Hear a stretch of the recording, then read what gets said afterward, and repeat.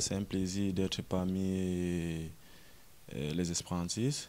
Et je tiens d'abord une fois de plus à remercier euh, Riyad Beno, qui avec qui j'ai vraiment collaboré depuis longue date afin d'être ici, sans toutefois oublier le président qui a fourni euh, assez d'efforts pour que je puisse être là aujourd'hui. Vraiment, je suis très satisfait d'être dans cette équipe.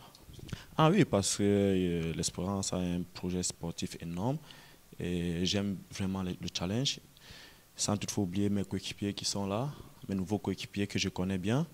Et je pense que le projet, le projet sportif est l'un des, de mes objectifs personnels.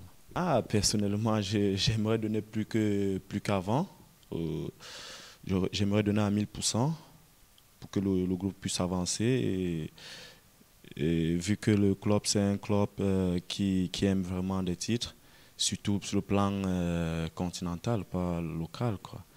Donc euh, c'est l'un de mes meilleurs challenges, à savoir amener des titres, des trophées à ce beau public espérantiste.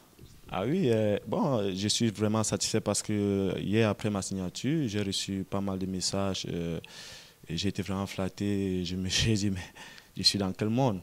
Donc ils sont vraiment adorables et je leur promets de donner le meilleur de moi plus que le passé.